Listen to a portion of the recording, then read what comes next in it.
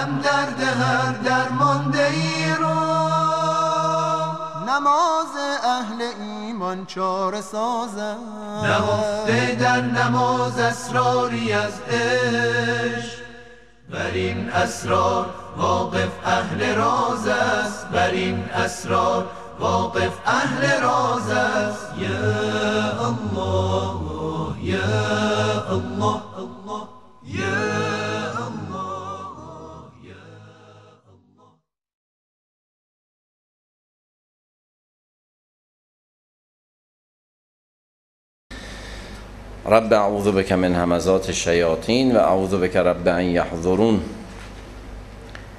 بسم الله الرحمن الرحیم و الحمد لله رب العالمین و صلی الله علی سیدنا محمد و آله الطاهرین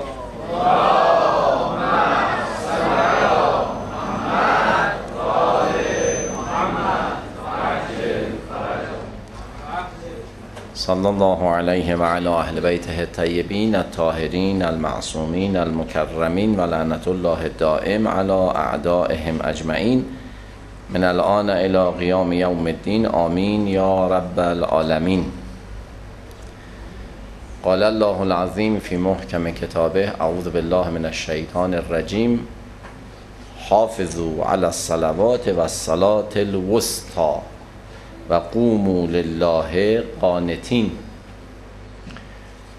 آیه که تلاوت کردیم آیه 238 از سوره مبارکه بقره است. میفرماید که بر نمازها مواظبت بکنید به ویژه نماز وسطا. که اکثر مفسرین فرمودن که منظور از نماز وسطا نماز صبح هست. که مواظبت بیشتری می‌خواد. تعدادی هم فرمودن نماز عصر منظور هست.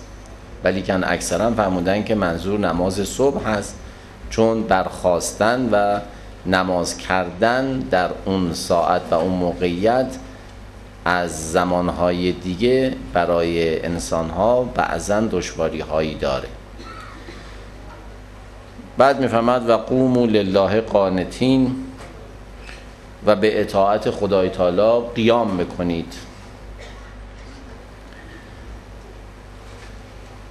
در بحث نماز بعد از معنای لغوی و اصطلاحی و بحث اهمیت نماز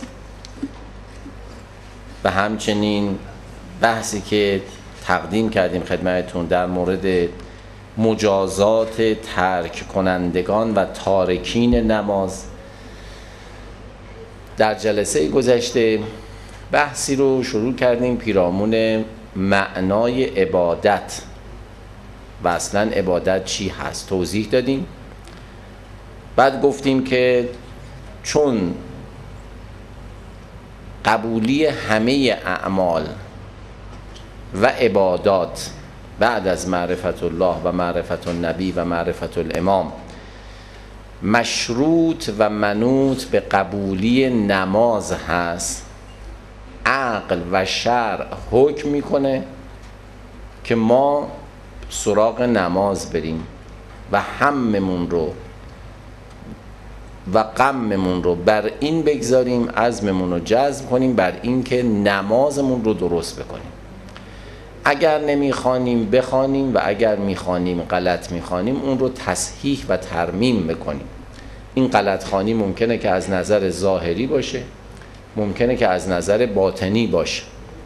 باید در هر دو موردش اقدام بکنیم و نماز رو تا زنده هستیم درست بکنیم که اگر می‌خواهیم انشاءالله وارد بهش بشویم نیاز به این داریم که مهمترین عمل عبادیمون در اسلام و در اسلامیت خودمون که نماز هست باید درست باشه. اگر غلط باشه یا نخونده باشیم یا قضا داشته باشیم به جان برده باشیم یا هر جوری که باشه اعمال دیگر هم. اگرچه اونها رو درست هم انجام داده باشیم از ما قبول نخواهد شد و به اونها اصلا نگاه کرده نمیشه و مورد بررسی قرار نمی‌گیره. لذا به همین منظور اومدیم سراغ نماز. گفتیم خب ببینیم که نماز کامل نماز نمونه نماز الگو در اسلام چه نمازی؟ نمازی که پیغمبر بخونه. یا ائمه معصومین صلوات الله علیهم اجمعین بخونن. ما باید در دست اینها نگاه کنیم دیگه. ما که نمی‌تونیم نماز الگو و نمونه بخونیم چون ما صاحب نماز که نیستیم. صاحب نماز پیغمبر هست و کسانی که از اون حضرت نماز رو فرا گرفتن در مرحله اولا اونها یعنی سینه به سینه وحی رو گرفتن از اون حضرت. خلفای برحق اون حضرت جانشینان برحق اون حضرت یعنی امامان معصوم دوازدهگانه هستن لذا در جلسه گذشته رفتیم سراغ روایت و حدیثی که این حدیث در کتاب شریف من لا یحضره الفقیه ترجمهش جلد یک صفحه 468 هست. در این حدیث عرض کردیم عمده این حدیث رو هم خوندیم. حالا خیلی سریع خود حدیث رو در یک یا دو دقیقه بتوانیم عرض بکنیم. گفتیم شخصی است به نام حماد ابن ایسا روایت می‌کنه که من روزی خدمت امام صادق علیه السلام یا امام کاظم علیه السلام رفتم. حضرت به من فرمودن که تو نماز رو می‌دونی؟ گفتم من یک کتابی راجع به نماز رفتم گرفتم تهیه کردم از رو اون دارم نماز می‌خونم. حضرت فرمودن پشت دو رکعت نماز بخون ببینیم. من بلند شدم دو رکعت نماز خوندم. حضرت در بعد از نماز من فرمودن که تو نماز خوندن رو نمی‌دونی چقدر زشت است برای شخصی که 60 یا 70 سال از سن او بگذرد و در عین حال یک نماز را با رعایت همه آداب و شرایط آن به جا نیاورده یا نتواند به جا آورد.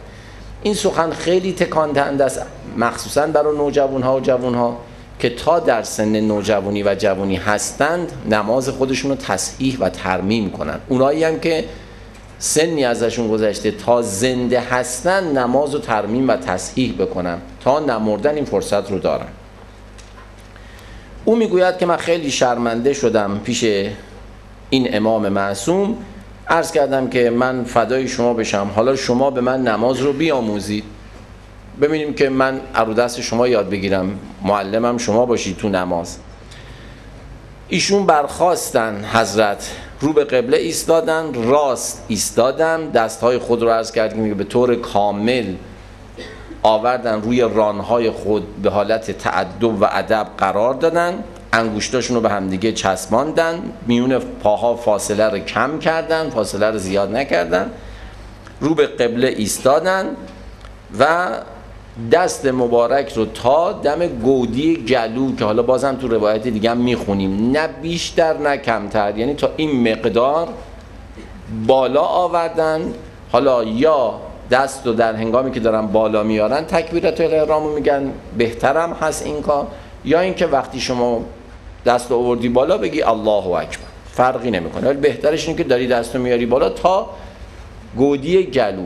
دیگه بیشتر نه که بعضیا مثلا دست رو اینجور می‌کنن فرزن به این حالت انجام میدن. نه اینها یه کارهایی است که نماز امام صادق نیست. کارهایی است که من انجام میدم شما انجام می‌دید از خودمون در میاریم.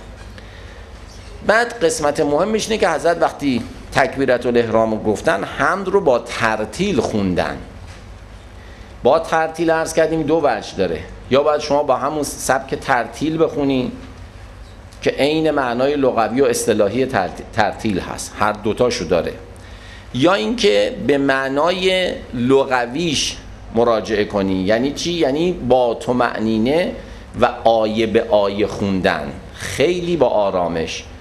مثلا بگیم الحمدلله رب العالمین الرحمن الرحیم مالک یوم الدین. اینها رو نپیچونیم به هم دیگه تو هم تو همش نکنیم بخونیم. حق هر آیه و جمله ای رو ادا کنیم سراغ جمله بعد بریم. این هم یک معنای ترتیله. هر کدومش شما بگیری ترتیل در نماز هست. بعد گفتیم که حضرت وقتی که بل از ظالین رو گفتن. حالا در جای دیگه هم می‌خونیم در روایت دیگه هم می‌خونیم که اونجا هم خودشون دستور فرمودن که مستحبه که انسان بگه الحمدلله رب العالمین. چه تو جماعت چه تو فرادا. بعد سوره توحید رو خوندن. وقتی که ایستاده بودن یه نفس کشیدن یه مقداری صبر کردن. بعد از سوره توحید گفتن الله اکبر به رکوع رفتن. بعد در رکوع چیکار کردن؟ گفتیم دست های مبارک خودشون رو رو اون قاپک های زانو گذاشتن زانو رو فشار دادن به سمت عقب که حالت صاف بشه پشت پشت اینجوری نشه. حتی تو روایت آورده اگر آبی روغنی پشت حضرت میریختن این صاف وا میساد. یعنی به این صورت بود. اینجوری نبود که مثلا بریزه. اینجور رکوع کردن. بعد عرض کردیم که رکوع رو به جا آوردن. سه مرتبه فرمودن سبحان ربی العظ... سبحان ربی العظیم و به حمده بعد حضرت برخواستن راست ایستادن عرضه داشتن سمع الله لمن حمده. مقداری به اندازه یک الله اکبر یه نفسی که کشیدن ایستادن بعد تشریف بردن برای سجده. در سجده اینجوری سجده نکردن. اینجوری به حالت بلندی که حالت تکبر هست سجده نکردن. مشتیوار سجده نکردن. دستها رو جمع کردن ولی این جاهای دستها هم رو زمین نگذاشتن. بلکه کف دستها روی زمین بود از زمین فاصله گرفتن. کف دستها فقط رو زمین بود با فاصله ای که داشتن آرامشی ایجاد شد براشون. و سپس سه مرتبه عرضه داشتن که سبحان ربی الاعلا و به حمده بعد در حال نشستن هم روی شسا نشستن. نحوی که بعضی از برادران اهل تسنن در هنگام نماز موقع سجده دوم که می‌خوان برخیزن اونگونه می نشینن یعنی نمی نشینن که یک تعملی بکنن بعد برخیزن. روی دوتا شست میشینن که آمادن برای برخواستن. اونجوری نه. حضرت نشستن آرامش چه در سجده اول چه در سجده دوم. بعد برخواستن در رکعت دوم هم همین کار رو انجام دادن و بین دو سجده هم حضرت وقتی که نشستن بدن آرامش گرفت عرضه داشتن استغفر الله ربی و اتوب الی بعد رفتن برای سجده دوم. سجده دوم هم همینطوری مثل سجده اول به جا آوردن. بعد در روایت میفرماید که امام علیه السلام هیچ جای از بدنش رو به دیواری به جایی به پشتی به دیوار به چیزی تکیه نداده بودن. بدون اینکه تکیه داده باشن این کار رو انجام دادن. و بعد وقتی که این کار تموم شد رکت دوم هم انجام دادن. نشستن سلام نماز رو دادن. رو کردن به من فرمودن ای حماد چنین نماز بخوان. و هنگام نماز به این طرف و آن طرف نگاه نکن. خب این فرمایش حضرت یعنی چی؟ شما میگه خب یعنی که مثلا میگه آقا اینطوری نکنیم این بر سمت راست رو نگاه نکنیم یا سمت چپ رو نگاه نکنیم اینجور نکنیم. اصلا اگه شما اینجور کنی که نمازت باطله. میرم تو همه روایات فرمودن که نماز باطل. به سمت راست و چپ نگاه نکن. یعنی مقداری که نماز را باطل نمی کند هم نگاه نکن. یعنی مثلا داری باید به روبرو نگاه کنی به سمت قبله نگاه کنی هر جا که قبلت هست. تو داری این گردن تو میری اینجوری می‌کنی می‌خوای یه جوری با چشمت یه جایی رو ببینی. یا به سمت چپت می‌خوای این کار رو انجام بدی. حضرت فرمودن این کار رو انجام نده. و با انگشتانت بازی نکن. مثلا سر نماز طرف گوشه ناخونشون می‌کنه چی می‌کنه؟ یا اینجوری می‌کنه یا همچی می‌کنه فلان می‌کنه. حضرت محمد این کارا نکن. با دست دو تا دستت گرفتی هی مثلا دستتو بخارونی این دستتو مثلا بخارونی دستتو مالش بدی مثلا نمی‌دونم مثلا درد گرفته هرچی با دستات با انگشتات بازی نکن. با دستهایت هم بازی مکن. و آنها را بی جهت حرکت مده. بی جهت حرکت نده یعنی چی؟ یعنی اینکه یه وقت لازمه آدم دستشو حرکت بده. خب یه وقت یه چسبیده مثلا به بدن انسان. انسان مثلا یک لحظه اون آیه‌ای که داره می‌خونه ذکری که داره میگه متوقف میشه نگهش میداره اون حشره رو از بدنش دور می‌کنه خیلی آرام که به نمازش خدشه وارد نکنه شروع می‌کنه ادامه نمازش رو خوندن. نه اینکه همینجور که داره می‌خونه این کارها رو هم انجام بده. حضرت محمود بی جهت دست تو حرکت مده و آب دهن به راست و چپ خود یا به روی خود می انداز یعنی اینکه سر نماز مثلا اگه دیدی که مثلا گلود گرفت و فلان اینا آب دهن تو بخوای یه جایی بیان سر نماز این کارو نکن. دستمالی تو جیبت هست. اگر دیدی که نمی‌تونی قورت بدی آب دهن تو اینا دستمال تو درار اون آیه ای ذکری که داری میگی اونجا نگهش دار. آب دهن تو بگیر. بعد ادامه نمازتو بده. این یه نماز نمونه است از امام صادق. دو تا مطلب رو اینجا دقت بکنیم.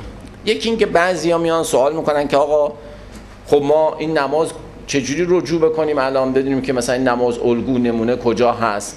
کی به ما این نماز رو میآموزه؟ تمام رساله های عملیه مراجع ازام تقلید شیعه. اونایشون که از دست ما رفتن غفر الله عنهم و اعلی الله مقامهم الشریف و اونهایشون هم که موندن حفظهم الله زحمت کشتن این رو برای ما به یادگار گذاشتن که هر کس بخواد می‌توانه به رساله ها رجوع بکنه. آقا مستحبات نمازش مکروهات نمازش واجبات نمازش محرمات نمازش اینها رو همه رو از اون دریابه. هیچ مشکل نداره. به زبون خیلی سلیس و روون هم نوشتن. هر کی همونم نفهمه می‌تونه ببره به اونی که می‌فهمه. بگه آقا اینجا شما نفهمیدم برای من توضیح بده. این یک مطلب که باید دقت داشت و خیلی مهمم هست که اینا تو رساله ها هست.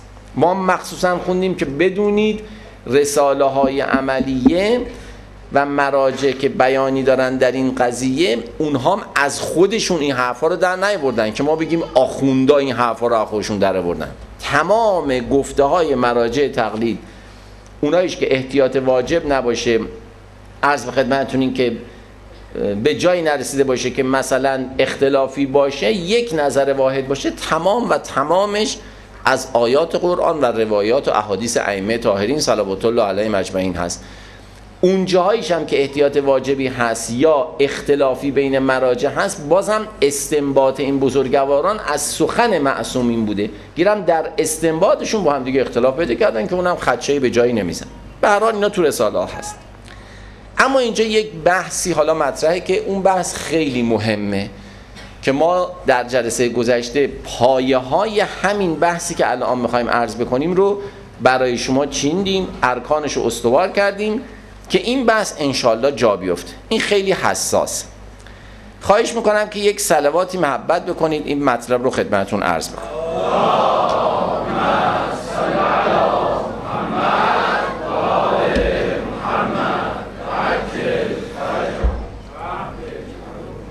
ببینید تمام اعمال عبادی اعم از نماز که در رأس اعمال عبادی است.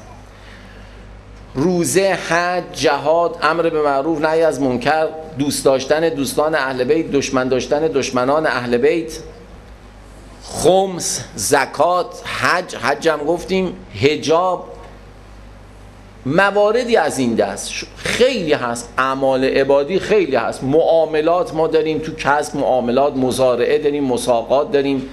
عرض به خدمتتون که در خود معاملات مزاربه داریم مشارکت داریم. همه رو اسلام مده راجبش صحبت کرده. احکام سید داریم. سید ماهی چجور باید باشه؟ سید نمی‌دونم مثلا گوزن چجوری باشه؟ ذبح چجوری باید باشه؟ اینها همه رو داریم. هر چی شما بگید ارث احکام ارث فلان هم. اینا همه اعمال عبادی است و درست انجام دادن اینها دقت بکنید اطاعت از خدای تعالی محسوب میشه و عبادت. یعنی شما وقتی که خمس رو میدی درست میدی زکات رو میدی یا مثلا هجابت رو مراعات می‌کنی یک عمل عبادی انجام دادی عبادت کردی خدای تعالی. اصلا عبادت به همین هست. عبادت که چیز دیگه که نیستش که. عبادت اینی که یه نفر از صبح وایسه تا شب نماز بخونه. یا خیلی میان تو این دست های عزاداری برای امام حسین شروع می‌کنن گریه کردن. خیلی هم همین سوال میان از ما می‌کنن از شما می‌کنن. داره گریه می‌کنه برای امام حسین. یک آرایش خیلی جالبی هم کرده. موهاش هم تا اینجا بیرون هست. طرف هم میاد به من شما میگه اگر ایشون واقعا قلبش پاک نیست چرا گریه می‌کنه برای امام حسین؟ خب این باید از خود او بپرسی. از ما که نباید بپرسی من که موهای سرم بیرون نذاشتم که. او گذاشته حجابش مراد نمی‌کنه. اصلا مراعات حجاب یک عبادته. این نیستش که ما بیایم خودمون یه کاری رو از خودمون انجام بدیم بدون اینکه معبود خواسته باشه. معبود اصلا از یک دونه از خانوم ها پروردگار نخواسته با عدم هجاب در یک دونه مجلس امام حسین ظاهر بشن و حاضر بشن. یک دونه حدیث شما یک حرف از یک حدیث برای من بیاد. من اصلا خودم میشم غلام شما. هر کاری شما بخواد برات انجام میدم. که یک دونه روایت حدیث بیاری که ایشون رعایت حجاب نکنه اب نداره. بیا جلوی مردم دسته سینه زنی یا توی هر مراسم دیگری اونجا بنشینه و گریه کنه برای امام حسین. چون این رو خدای تعالی نخواسته در جلسه گذشته هم عرض کردیم. ما باید هوشیار باشیم. این عبادت نیست. عبادت اونه که خدای تعالی خواسته. میگه این کارو بکن چشم. اینجا باید نمازتو بشکنی چشم. اینجا نباید بشکنی چشم. اینجا باید روزتو بخوری چشم. اینجا نباید روزتو بخوری چشم. اینجا باید دو رکت بخونی چشم. اینجا چهار رکت اینجا سه رکت اینجا فلان چشم چشم چشم چشم. حجابت اینجا باید این باشه تو مجلس خواستگاری این باشه. وقتی این سیغه محرمیت خوندن ایشون محرم ترین فرد به شماست. یعنی جلو پدرش هم اونقدر نمی‌تونست آزاد بشه که جلو, جلو شما که حالا شوهرش شدی آزاد هست. و همسرشو چه زن چه مرد حالا فرق نمی‌کنه. ای آقا با یه خط خوندن با این معبود هست این مسیر رو مشخص کرده ازدواج میشه عبادت حجاب میشه عبادت معاملات میشه عبادت. اگر درست انجام بگیره. اگر هم غلط انجام بگیره هیچ کدوم عبادت نیست. و هیچ پاداش و ثوابی هم نداره. اینو ما باید اول خوب بفهمیم. این مطلب. و این مطلبی که داریم میگیم نه من اینجا برای دوستان عزیزم و بزرگوارانی که به هر طریقی صدای ما رو میشنون من عرض بکنم ما داریم مطابق با روایات احادیث داریم صحبت می‌کنیم و آیات قرآن. لذا تمام این عبادات خواهش می‌کنم خوب توجه بکنید تمام این عبادات با دو هدف توسط بندگان انجام میشه. این دو هدف رو حفظ بکنید شما. که خیلی مهم. همه عباداتی که ما انجام میدیم که من بعضیاشو نزدیک ده 15 تاشو ما شمردیم با دو هدف کلی انجام میشه. هدف اول چیه؟ برای اینکه من توضیح بدم خوب تو ذهن نورانی بعضیا خوب جا بیفته. ببینید شما وقتی عمل عبادی رو می‌خواید انجام بدید قطعا توی ذهن شما هستش که یک کسی از شما خواسته این عمل عبادی رو انجام بدید او کیست؟ شما به من جواب بدید. خدای تعالی. عجبم خوب جواب دادید شما. خدای تعالی. درست؟ از شما از من و شما خواسته که این فلان عمل عبادی رو انجام بدیم. خوب با من باشید دقت بکنید. ما وقتی میایم اون عمل عبادی رو شروع می‌کنیم انجام دادن دو هدف رو باید تأمین بکنیم. هدف اول چیه؟ هدف اول اینه که اون دستوری که از جانب معبود که پروردگار ما هست به ما رسیده اون دستور انجام بشه. چرا که؟ حرف سر اینجاست. چرا که؟ اگر این دستور انجام نشود عدم اطاعت صورت گرفته. یعنی ما اطاعت از پروردگار نکردیم. اطاعت از پروردگاری نکردن عدم اطاعت چی رو به دنبال داره؟ یک عذاب مخصوص به خود و یک مجازات و کیفر مخصوص به خود رو به دنبال داره. من فلان اعمال عبادی رو انجام دادم فلان اعمال عبادی رو انجام ندیدم. دقیقا اون اعمال عبادی رو که انجام ندادم مجازات انجام ندادنش سر جای خودش باقیه. بدون برو برگرد. باز یه مقدار توضیح بیشتری میدیم. میایم سر بحث خودمون رو نماز. نماز یه عمل عبادی مهمترین عمل عبادی است. پروردگار از من خواسته من نماز بخونم. من نماز نمی‌خونم اصلا. درست؟ اصلا نماز می‌ذارم کنار. بهش توجه ندارم نمی‌خونم. میگم آقا برو. ما امام حسین علیه السلام روز قیامت میاد شفاعت همه ما رو می‌کنه. در جواب خیلی جالب باید به این افراد گفت دوزار بده آش به همین خیال باش. چون نه قرآن این حرفت رو تایید می‌کنه نه روایات احادیث. آقای فلان چرا شما اینجوری به این عوامونه صحبت می‌کنی؟ برای اینکه بفهمن اینها. آقا 60 سالشه. سیاه میپوشه حسینیه میره. و هنوز بچه هاش اومدن به ما میگن آقا ایشون نماز نمیخون خب این خیلی زشته. چون هیچ چیز از او قبول نیست. حالا این میگه آقا من 50 سالمه 60 سالمه 40 سالمه 30 سالمه 20 سالمه. از 16 سالگی به اینور از زمانی که من تکلیف شرعی شدم به این طرف نماز نخونده. چند سال گذشته حالا ما نمی‌دونیم هر چند سال هست. این مجازات و کیفر نخواندن نماز صد درصد پاش هست. چه مجازاتیه؟ ما قسمتی از احادیث رو انتخاب کردیم و آیات رو برای شما در جلسات گذشته خوندیم که چه مجازاتی برای چنین افرادی هست. دو فردی نماز می‌خواند. دقت بکنید در این مطلب. خیلی سعی کردم من این مطلب رو با توجه به که سخنران خوبی نیستم این مطلب رو خیلی سعی کردم روونش بکنم سلیس بکنم که همه بفهمن. دو ما نماز را می‌خوانیم یا هر عمل عبادی دیگری را انجام می‌دهیم اما ناقص انجام میدیم کامل نیست. یا از نظر ظاهری کامل انجام میدیم اون عمل ما باید باطنی هم داشته باشه باطن نداره عمل ما مثل خود نماز که بحث ما هست. یعنی تو نماز هی شک می‌کنیم صحف می‌کنیم حواسمون تو نماز نیم ولی نماز رو از نظر ظاهری درست می‌خونیم خب دقت بکنید پس اینجا الان فرقمون با دسته اول چی شد؟ خوب توجه بکنید اون اولی نماز نمی‌خوند اصلا. عمل عبادی رو انجام نمی‌داد اصلا. دومین نفر دومین فرد عمل عبادی رو انجام داده. لکن یا ناقص یا ظاهرش رو خوب انجام داده باطنش اگر اون عمل باطن دار باشه باطنی براش نگذاشته. مثل نماز مثالش رو زدیم. فرق دو با یک چیه اینجا؟ فرد شماره دو با فرد شماره یک فرقش چیه؟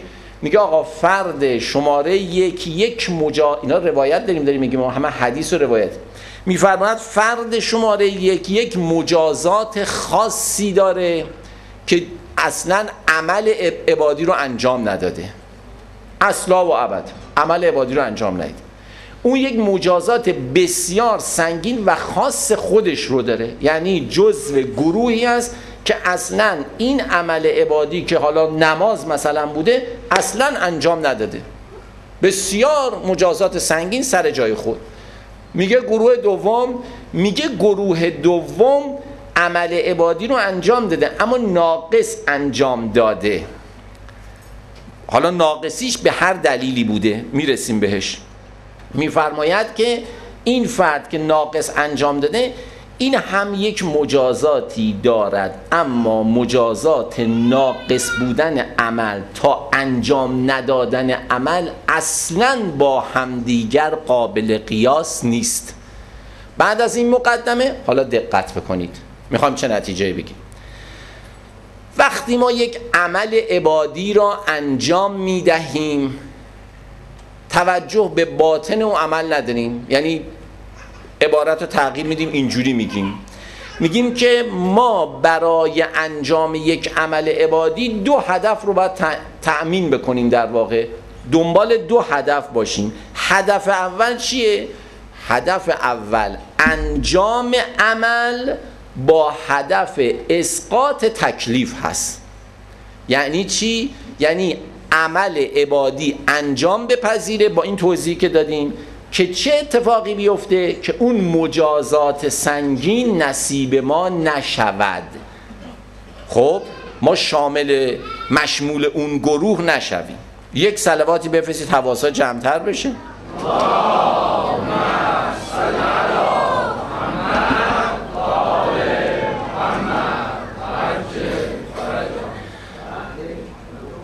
پس عمل عبادی که من انجام میدم برای اسقاط تکلیف هست اصطلاحا. اسقاط تکلیف یعنی چی؟ یعنی ساقط شدن تکلیف از گردن من. من نما... مثلا رو نماز مثال می‌زنیم. من نماز رو می‌خونم با هدف اول اسقاط تکلیف. یعنی چی؟ یعنی نماز نخون نباشم. اسم من جزو نماز نخونها نباشه. جزو نماز خونها باشه. پس اسقاط تکلیف یعنی عابد عبادت کننده عمل عبادی را به منظور خارج ساختن از ذمه خود انجام می دهد و تکلیف را از گردن خود ساقط می نماید که اصطلاحا بهش میگیم اسقاط تکلیف. میگه آقا نماز خوندی؟ میگه خوندم. خب پس اسقاط تکلیف شد. فعلا من از گروه نماز نخونا چی شدم؟ خارج شدم. اومدم بیرون تو گروه نماز خونها قرار گرفتم. حالا هدف دوم. هدف دوم چیه؟ میگه آقا هدف دوم برای یک عابد در عمل عبادی که انجام میده انجام عمل به منظور قبولی آن در پیشگاه پروردگار متعال. یعنی چی؟ یعنی عابد عمل عبادی را فقط به منظور قبولی اون در پیشگاه معبود انجام میده. من عمل عبادی رو انجام میدم اول هدف اول تعمین میشه. یعنی نماز نخون نیستم میشم نماز خون. نماز خون که شدم حالا می‌خوام همین عمل عبادی را بیام هدف دوم رو هم تعمین بکنم. یعنی با هدف دوم انجام بدم. که چی؟ که این عملی که حالا انجام دادم عمل عبادی که انجام دادم این مورد قبول قرار بگیرد. پس نتیجه این میشه آقایان و خانم ها دقت بکنن. اسقاط تکلیف با قبولی عمل چی؟ دو مقول است. با همدیگه فرق می‌کنه. ما یه وقت اعمال عبادی که انجام میدیم صرفا اسقاط تکلیفه. یه وقتایی هم الله مورد قبول هست. یعنی سعی می‌کنیم هدف دوم هم تأمین بشه. عبارت دیگه ارز می‌کنیم. خیلی وقتا بعضی وقتا اغلب اوقات ما هست که عمل عبادی رو انجام میدیم. دو هدف رو باید تأمین بکنیم. یک هدف رو تأمین می‌کنیم. گرفتین حالا مطلب چی شد؟ اون هدف چیه که تأمین می‌کنیم؟ اسقاط تکلیف هست. ولی هدف دوم رو دنبالش نیستیم. هدف دوم باید حتما دنبالش باشیم و اون چیه قبولی عمل هست. حالا اینو عرض می‌کنیم. در بین اعمال دقت بکنید. یک سری اعمالی هست که با اسقاط تکلیف اون مسئله قبولی عملم توش هست. ببینید حالا به چه صورت. مثلا یه خانومی هجابش رو کامل مراعات بکنه. کامل مراعات بکنه. این خودش هجابو که کامل مراعات کرد هم اسقاط تکلیف کرده هم بر خداوند متعال هست که انشالله از او قبول بکنه این هجابش یه نفر میاد خمس مالش رو میده نیت می‌کنه خمس مالش رو میده. این هم اسقاط تکلیف شده ازش مالش پاک شده دیگه مالش قصبی نیست می‌تونه دست کنه تو جیب خودش خرج بکنه. دیگه مال سادات فقیر و امام معصوم تو مالش نیست اگر البته خمس بهش تعلق بگیره. در مرحله دومم این هستش که این چیکار کرده؟ مرحله دوم رو هم پاس کرده به قول ما که قبولی عمل باشه. البته اون ورش که خدا بپذیره یا نه جلسه گذشته توضیحاتشو دادیم. اما بعضی از اعمال عبادی این گونه نیست. مرحله دوم هم ما باید به طور مجزا دنبالش باشیم. مثلا غیر نماز که حالا مسئله ما نحن فیه ما یعنی مسئله است که ما داریم روش بحث می‌کنیم اگه بذاریم کنار روزه رو دقت بکنید شما. روزه شما امساک می‌کنی از قبل از اذان صبح یعنی دیگه لحظات اذان صبح که می‌خوام میگن امساک می‌کنی تا زمان که تا زمان مغرب شرعی بعد افتار می‌کنی. اینو بهش میگن امساک کردن. اینجا شما جزو روز نگیرندگان نیستی. اگه این عمل انجام بدی اسقاط تکلیف ازت شده. یعنی سائمی روزه داری روزه رو گرفتی. نمیان مجازات روزه نگرفتن رو با شما بکنن. اون مجازات سنگین با شما انجام بدن. اما در طول روزه همه امامان معصوم پیغمبر حتی آیات قرآن می‌فهمد دروغ نباید بگی غیبت نباید بکنی. اینها چه, چه, چه چیزی رو باعث میشه؟ میگه اینها رو که انجام بدی باعث میشه که روزت مورد قبول واقع چی نشود. ولی اسقاط تکلیف از شما چی شده؟ نمازم همینطور. حالا که اگر خوب فهمیدید که مسئله اسقاط تکلیف پس چی هست و قبولی عمل چیه که دو مقولن و در ارتباط با هم هم می‌تونن باشن این رو هم نتیجه بگیریم بعد با یک سلوات بریم ادامه بحث. ببینیم هر کی خوب فهمیده باشه اون موقع ببینید اگه خوب متوجه شدید به هر مقداری که متوجه شدید شما سلوات بلند بفرستید ما ببینیم متوجه شدید چقدر متوجه شدید یا نه. اینو من عرض بکنم. اون جمله اینه که عمل عبادی مانند نماز که پس ما انجام میدیم اسقاط تکلیف می‌کنیم باید اگر می‌خوایم مورد قبول قرار بگیره باید با هدف قبولی نماز که عمل عبادیمون هست باید مرحله دوم رو هم وارد بشیم. بچسبونیمش به مرحله اول که اسقاط تکلیف هست تا یه نماز کامل نمونه خوب که بهش میگیم نماز مقبول خونده باشیم. حالا اون صلوات رو بفرستید بینیم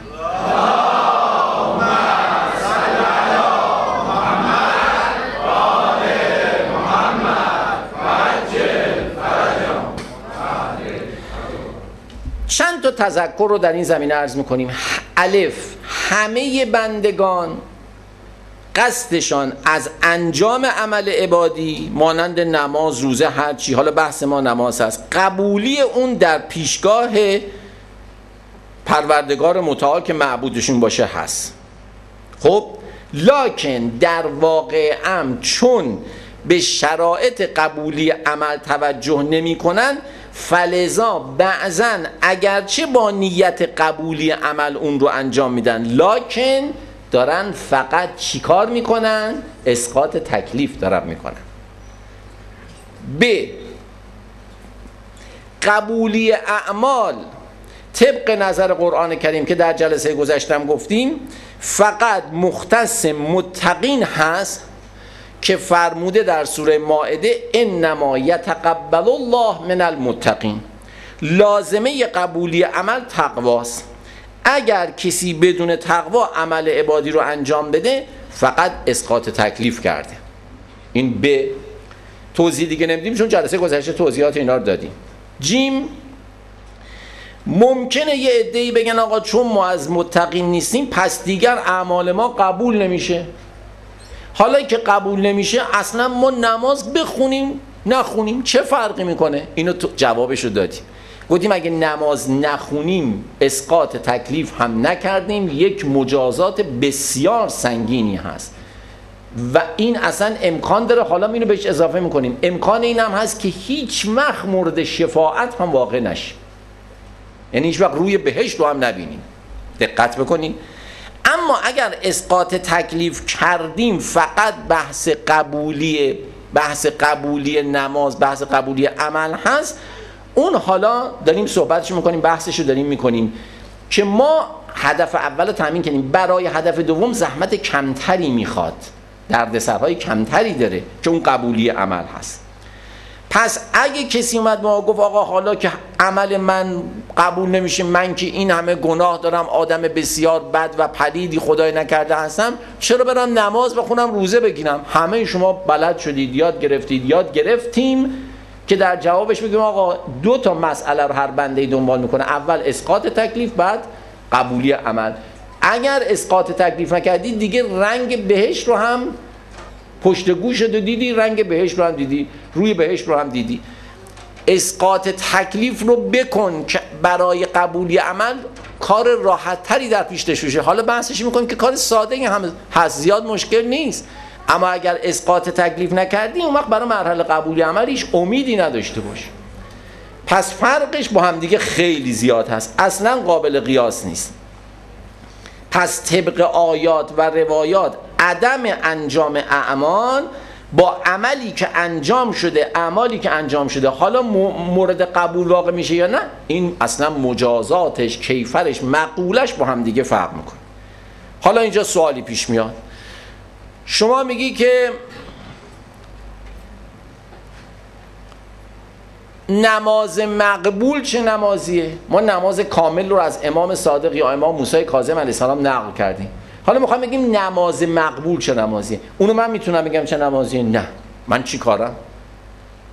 باید بریم اونم در خونه امام صادق امام باقر ائمه طاهرین کسانی که با خاندان وحی در تماس هستن جانشینان به حق پیامبر گرامی اسلام هستن صلوات الله علیه مجمعین. ببینیم اون بزرگواران چه جوری برای ما تفسیر می‌کنن.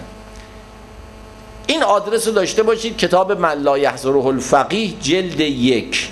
از امام صادق علیه السلام از حضرت سوال میشه که چگونگی نماز مقبول رو برای ما بیان بفرمایید. چه نمازی؟ ابن رسول الله مقبوله. ما چیکار کنیم نمازمون مقبول بشه؟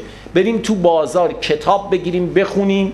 فلان آقا فلان آقا فلان خانم فلان کس تو این کتاب خاطرات نوشته اینجوری نماز می‌کرد شما هم اینجوری بکنین. آقا همه اینا به فرض که درست باشه به فرض که خوب هم باشه به فرض که قائلین اینا اینا رو راست نقل کرده باشن تو این کتابا داستان اینا نوشته باشن خوب باشه راست باشه همه اینا.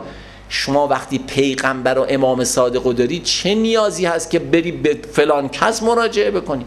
خب بگیر ببین چیکار کرده امام صادق علیه همون کار انجام بده. راوی میگه که آقا جون من از حضرت سوال کردم که یبن رسول الله ما چیکار کنیم این هدف دوم که قبولی نماز تعمین بشه؟ نماز مقبول بخونیم. که نمازی که می‌خونیم مورد قبول پروردگار واقع بشه. حضرت فرمود زمانی که برای ادای نماز برخواستی یه دعایی به این یاد داد. دعاها مختلف تو رساله ها همه نوشتن. خیلی مراجع زحمت کشیدن واقعا. همشون نوشتن. حضرت فرمود یه دعای کوچیک هر این دعاها رو می‌خوای بخون تو رساله ها نوشته. شکم سیر سیر نباشی پرخوری نکرده باشی که تا می‌خوای یه چیزی بخونی هی ترش می‌کنی غذا میاد تو دهنت. اینجور نباشی می‌خوای نماز بخونی. ببین همه رو من دارم فارسی روایت رو دارم میگم. ببین تا کجا رو امام صادق به ما گفته؟ تا کجا رو گفته؟ من نمی‌دونم بعضی ما چقدر رو داریم واقعا خدا شاهده. میایم هم چی می‌کنیم. چیزی نه راجب نماز که کی مگه صحبت کرده آخونده یه حرفایی زدن. امام صادق علیه السلام تا کجا آمده بیان کرد؟ سیری شکم پرخوری زیاد نباشه. کسالت نداشته باشی. خسته و کوفته نباشی. اینا مال زمانهایی که چی ما داریم می‌خونیم؟ زمانهایی که ما عوض نداشته باشیم. داره نماز قضا میشه دیگه شکم پر و کسالت و اینا باید باشیم نماز رو بخونیم. هر جون کندنی هست. مردیم هم باید بایستیم نمازه رو بخونیم. ولی یه وقت وقت داریم. حضرت داره برای زمان عادی رو داره بیان می‌فهمد از روی شکمپری نباشه. پرخوری نباشه. کسالت نداشته باشی. کسول باشی. همچین کوفته خسته ای ارو تنبلی و فلان اینا هی داری خودتو می‌کشیم رو زمین پشیم حالا چجوری بخونیم نمازو پر چی خدای نماز واجب کرد آخه؟ چه حالی داشته خداها؟ نمی‌شد بگه حالا هر رکتی اینقدر بدین نخونین اینو. ما می‌رفتیم چی می‌کردیم؟ یا نمی‌شد بگه به جای این یه کار دیگه حالا ما انجام بدیم. هی داره اینا رو با خودش می حضرت همون در این حالات نماز نخون. خواب آلوده نماز نخون. داری چرت می‌زنی نماز نخون. با شتاب نماز نخون.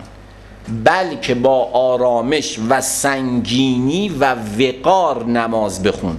چون در داخل در نماز شدی بر تو باد که با خشوع باشی و با حضور قلب به نماز متوجه باشی که خداوند عزوجل میفرماید الذین هم فی صلاتهم خاشعون. که حالا خاشعینا هم همون فروتنی و انکسار و افتادگی انسان هست و معدبانه و متوازانه بودن.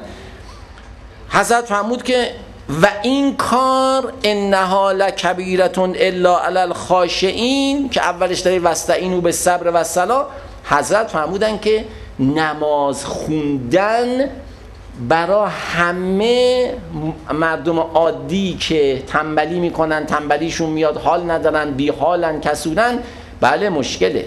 مگر برا خاشعین. خاشعین که خودشون رو واقعا بدهکار تمام سلولی می‌دونن در خونه پروردگار. مگر برای همچین افرادی که خاشعن در خونه پروردگار برای اینها هیچ مشقتی نداره. حضرت فرمود که روی خود را به سوی قبله کن. صورت تو از قبله به این ور اونور بر نگردون که نمازت باطل میشه. راست به ایست پشت خودت رو موقع رکوع و اینها صاف کن که تو حدیث اول توضیح دادیم. چشم خود را به زیر بیانداز فرمودن به جای سجدت نگاه بکن. این ور اونور رو نگاه نکن. ببینید من حالا نمی‌خوام همه اینا رو به سال بزنم چون وقتمون بسیار کمه. گاهی هست طرف داره نماز می‌خونه خانومش می‌دونه وقت مناسبیه. میره شلوار این آقا رو هم داره میاره دست می‌کنه تو جیب شلوارش هم چی می‌کنه. من 5000 تومن ورداشتم. این سر نماز مثلا میگه مالک یوم الدین یا که نماز اگه به مورد نگاه کنی نه اون خانم نگاه می‌کنی نه شلوار تو نگاه می‌کنی نه اون پولی که این داره به هم داره نگاه می‌کنی تو این حال هوا نیستی. سر نماز داره میگه مالک یوم الدین میگه 5000 تومن ورداشتم عجیبه. ببرم چی بخرم اینا؟ میگه یا که نماز و یا که نستعین هی محل نمی‌ذاره که شاید اون بگه مثلا فلان اینا. هی هم با چشش هم چی می‌کنه؟ یعنی بر ندار. این همچی می‌کنه. بابا من می‌خوام منم نم فلان چیز بکنم 5 تا بردم موقع خوبی رو پیدا کرده. این می‌رسه به غیر المغضوب علیهم ولا الضالین. ما خیلی اینا حرف داره بخوام بزنم. نمونهشو من دارم برای شما میگم. یا سر نماز داره با چشش داره با حرکت چشش با رفیقش داره خدای نکرده شوخی می‌کنه. با بچهش داره مالک یوم الدین یا که بچه جلو سجادهش آقا تو برای بچه با بچه داری بازی می‌کنی نماز می‌خونی؟ آخه این چه نمازیه تو داری می‌خونی؟ آدم اینها رو نگه من نمی‌دونم چجوری توضیح بدیم. شما حسابشو بکن رفتی سه ماه از رهبر ارجمند انقلاب وقت گرفتی بری دیدار و زیارت ایشون. رسیدی حالا خدمت ایشون؟ هفت تا خانم پشت سر گذاشتی جیبتو گشتن پاتو گشتن کتتو گشتن همه وجودتو با دستگام چه حالا رفتی نشستی اونجا. حالا بچت هم مثلا بردی. الان می‌خوای با رهبر انقلاب می‌خواد ایشون با شما صحبت بکنه. چه موقعیت خوبی برای تو پیش اومده که از این موقعیت استفاده بکنی؟ تو آقا داره با شما حرف تو بچت میگی جیگرم عزیزم. خب. واقعا این اینو درست می‌دونی یا نادرست می‌دونی؟ ما یه جاهایی عظمت عمومون رو درک می‌کنیم. عظمت خالمون رو درک می‌کنیم. عظمت داییمون رو درک می‌کنیم. عظمت عممون هم که قربونش بریم درک می‌کنیم. عظمت خدای تعالی رو به اندازه عظمت اینها اصلا نیست تو ذهن ما. خیلی بده. خیلی زشته واقعا. ما در پیشگاه خدای تعالی وایسیم بعضی وقتا در جلو عممون وامیسیم دستمون هم چیکن. عمه جان چشم. چشم قربون شما. حتما چشم. امو جان چشم دایی جان چشم خاله جان چشم. تو مجلس خاصگاری ما می‌خوام یه زن بگیریم که دو سال بعد که همش به خانوم میگه که مثلا چه جوری بریم خونه که که میگه بزن من موتور بخرم که شما رو ترک سوار کنم. میگه چرا موتور بخرید ترک سوار؟ میگه روی همدیگر رو نبینیم. اینجوری بریم بیرون. که دو سال بعد اینجوری میشی این خانوم و تو مجلس خاصگاری عبد زلیله نشسته اونجا. بعضی هاشون هم که دیگه به حد اعلا میرسونن. بله پسر بنده یا خودش میگه بنده آمدم که شما منو به غلامی قبول بکنی. گوشش رو سلاخ کنیم و بریم دیگه پاسی در پیشگاه پروردگار تو هزار تا بازی تو این نوعی رو عرض می‌کنیم. ما هزار تا بازی در میاری. خب که چه نمازیه تو داری میخون امام صادق علیه می‌فهمد چشت به جای سجدت. نگاه نکن. چشم تو به جانب آسمان نکن. نگاهت را بالا نگیر. به محل سجدت باشه دل خود را به نمازت مشغول دار. اینو حالا تو بحث بعدی عرض می‌کنیم. خیلی جالب اون بحث. از نم... بدون که از نماز جز آن مقدار که با حضور قلب بوده اگرچه به اندازه یک آیه بوده فقط همون مقدار قبول میشه. خیلی عجیب. چند حدیث در این زمینه داریم. تا جایی که گاه از نماز بنده ای فقط یک چهارم آن یک سوم آن یک دوم آن پذیرفته میشه. و باقی آن مورد قبول قرار نمی‌گیرد خداوند عزوجل با نوافل نماز مؤمنان را به درجه تمام میرساند. که حالا اونم توضیح میدیم. در حال نماز باید چنان به ایستی که بنده زلیل و بیقدری در برابر پادشاهی با فر و شکوه می ایستد و بدان که در حال نماز در برابر کسی ایستاده ای که تو را می بیند ولی تو او را نمی بینی بعد حضرت ادامه حدیث. یعنی چقدر اینا زیباست. حضرت می‌فهمد نماز کن بمانند کسی که در حال ودا است. گویا این آخرین نماز توست و پس از آن هرگز امکان خواندن نماز نخواهی یافت. یعنی چی؟ یعنی اینکه من الان ملک الموت چند دفعه برای پیغمبران اومده. برای کسای دیگه هم اتفاقا همچین اتفاقی افتاده. اینا استثناسا که خدا خواسته به ما توجه بده. آقا درخواست کرده طرف امیرالمومنین شفیع قرار داده ملک الموت بالا سرش گفته یا امیرالمومنین من یک کتابی داشتم برای شما می نوشتم می‌خواستم یه فرصتی بگیرم از شما. این در کتاب نقل شده معتبرم هست. حضرت اشاره کرده به ملک الموت سی سال دیگه به ایشون وقت بدید. سی سال دیگه بهش وقت اومده کتابش رو تکمیل کرده سی سال بعدم مرده. حضرت می‌فهمد بهت فرض کن به تو یک فرصتی دادن. یک فرصتی به تو دادن که می‌خوای در این فرصت دو رکت نماز برای خدا بخونی. چه جوری می‌خونی؟ خدا یه فرصت من بده من فقط یه دو رکت نماز بخونم بعد جون منو قبض کن. چه جوری می‌خونی؟ حضرت میفرماد نمازای هر روزت باید مثل این دو رکت نمازت باشه. برای اینکه تو نمیدانی کی ملک الموت جانت را می‌گیرد و تو میمیری. تو اینو نمی‌دونی. بعد حضرت می‌فهمد هنگام نماز با محاسن خودت با ریش خودت با صورت خودت با سر و دستانت بازی نکن. هی دائما کلش داره میخارونه هی اینجوری اینجوری می‌کنه هی همچی همچی می‌کنه هی همچی همچی می‌کنه. بعضیا محاسن دارن محاسنشون مثلا بلند میشه می‌گیره هی محاسنش می‌گیره همچی می‌کنه جلو خوش نگاه می‌کنه. جلو خوش نگاه می‌کنه. من اینا بچی ریشاشو می‌کنه جلو خوش نگاه می‌کنه. این کارا بچی می‌کنه با آخه زشته این کار تو جلو خدا وایسادی. هی دستش می‌کشه به ریششون اون یکی سرش چی می‌کنه؟ اینجوری می‌کنه؟ اینجوری می‌کنه؟ میاره. جوجوه رو پیدا کرده. مالک یوم الدین ایا که نبوده و ایا که نسته. چه جوجویی؟ به به به حضرت فرمود ببین تا کجاها رو بیان کرده؟ انگشتانت را مشکن. سر نماز بسه. تق تق تق تق. بابا نکن این کارا رو. اینا رو قبل نمازت هم می‌تونستی بکن این کارا رو. امام صادق میگه انگشتانت را مشکن. یک پای خود رو جلوتر از پای دیگه نذار. یه خود پات جلو میاری عقب میاری. فاصله میان دو پا را نزدیک کن و گشوده مگذار. بلکه فاصله میان دو پا را به اندازه سه انگشت تا یک وجب از یکدیگر باز بگذار.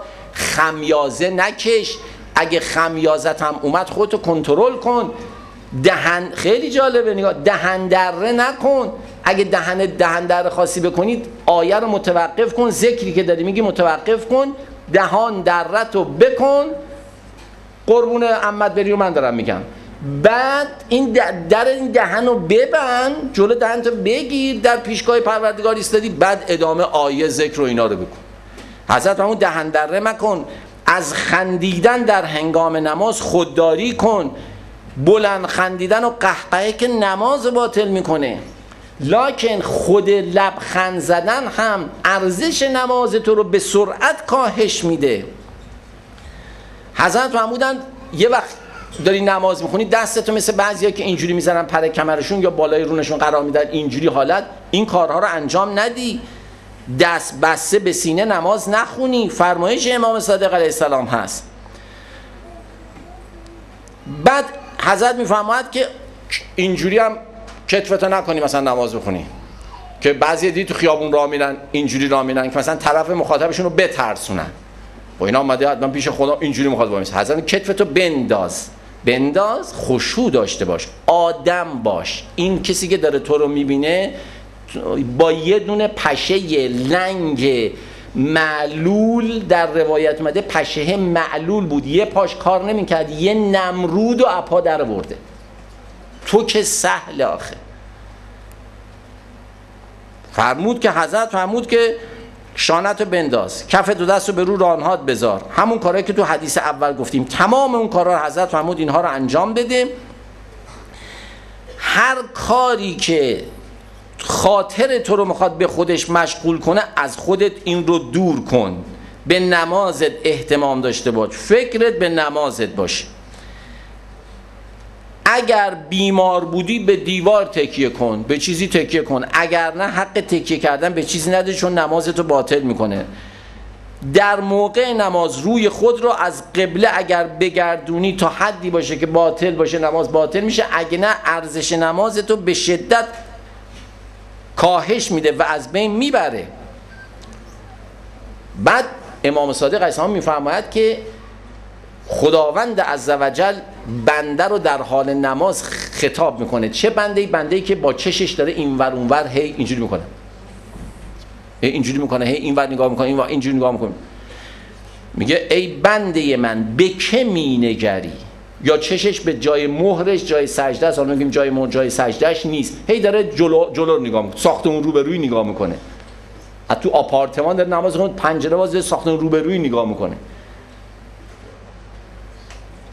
رفته حرم متحر ائمه چشش پای یه خانومی برهنه است. اون نمی‌فهمه. اینم سر نماز وایسه داره همینجوری پای اون رو نگاه می‌کنه. به جای اینکه محل سجدهش رو نگاه کنه. امام صادق علیه السلام فرمود که خدای تعالی می‌فهمد ای بنده من به که مینگری؟ به چه کسی که برایت از من بهتر باشد مینگری؟ اگر سه بار این عمل را تکرار کند و توجه خود را به جای دیگر معطوف دارد خداوند عزوجل نظر خود را از او برگرداند. و پس از آن نیز هرگز هرگز به او نظر نفرماید. بعد حضرت فرمودند یه وقت تو نماز فوت نکنی محل سجدت رو فوت نکنی. آب دهان همون که گفتیم بیرون نندازی مگر که با دستمالی چیزی آب دهانت جمع کنی ادامه نمازتو بدی و دستهات رو با گفتن الله اکبر که میگی تا حد گلوگاه یا گودی گردن اینجا گودی گردن هست تا اینجا بالا بیا. نه اینجوری بگو الله اکبر نه اینجوری کن الله اکبر. این اطفارا رو از خودت در نیاد. ببین امام صادق علیه چی فرموده؟ هم کار بکن. حضرت محمود تو اینجا میگی الله اکبر نماز رو شروع می‌کنی. مقابل گوش ها دستات حضرت می‌فهمد بالاتر نره. سپس دست ها را به طور کامل باز کن اینجور و سه بار. عرض به خدمتتون این که یا یه بار که بعض وقتا برای استحبابش هست تکبیر میگن که حالا ما در رساله عملی دیدیم که انسان یک بار تکبیر میگه قبلش هم می‌تونه که هفت بار اینجور بگه این, این کار انجام بده بعد یک بار تکبیر به نیت ورود به نماز رو انجام بده.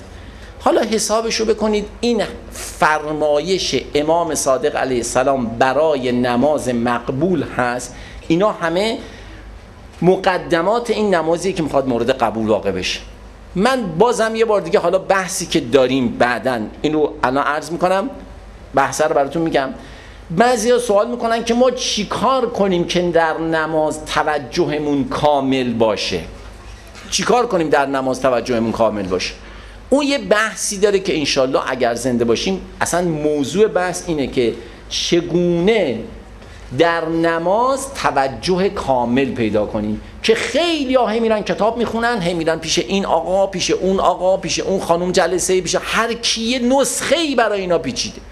ما اینا رو همه رو جمع بکنیم بگیم آقا اینا بعضیاش هم ممکنه درست باشه. ولی بحث اصلی بیاریم مواردش رو عرض کنیم بگیم آقا یک ماه شما این نسخه ای که بهت ائمه معصومین قرآن روایات نبوی اینها داده شما عمل کن. ببین توجه کامل تو نماز پیدا می‌کنی با اون مطالبی که ما میگیم نه اینو باید جلسه بعد عرض بکنی دقت بکنید اینجا مطلبی که باز می‌خوام تذکر بدم این هست. بعضیا این سوال مطرح می‌کنن. آقا ظاهر نماز رو زیاد چی نکن؟ شما بحث, بحث مخارج رو اگه پیش بکشی نماز رو بخوای اونجوری با مخارج بخونی اصل نماز از دستت رفته. امکان نداره. اصلا اگه شما مخارج نماز درست نباشه همه فقها بلا استثناء حضرت امام رهبر انقلاب مراجع ازام تشیع همگی فرمودن نمازت باطل. من نمی‌دونم چطور بعضی ها که وقتی برای امام جماعت هم میان میستن فلان مطلب رو مثلا فلان آیه رو می‌خونن یه وقتی چجور آخه رو این رساله ها ما نمی‌تونیم تطبیق بدیم. ولی آقا نماز اینجور درسته اینجور باطله باید بگیم چشم. باید ظاهر نماز آقایون خانم ها باید صد درصد رعایت بشه.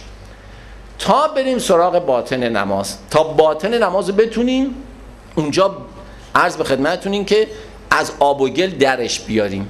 بتونیم یه باطن خوبی تو نماز داشته باشیم. و الا این فکر رو از سرمون بیرون بکنیم. ظاهر نماز رو بذاریم کنار.